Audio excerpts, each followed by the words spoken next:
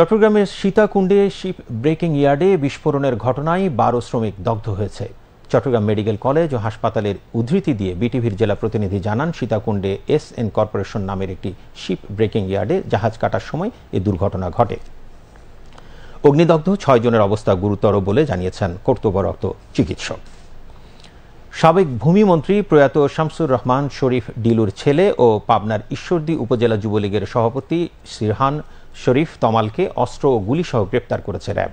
র্যাবের উদ্ধৃতি দিয়ে বিটিভি জেলা প্রতিনিধি জানান, বৈষম্য বিরোধী ছাত্র আন্দোলনের শিক্ষার্থীদের ওপর হামলার ঘটনায় এজাহারভুক্ত পলাতক আসামি শিরহান শরীফ তমালকে গোপন সংবাদের ভিত্তিতে পাবনার ঈশ্বরদী পৌর শহরের আলোবাগ এলাকা থেকে গ্রেপ্তার করা হয়।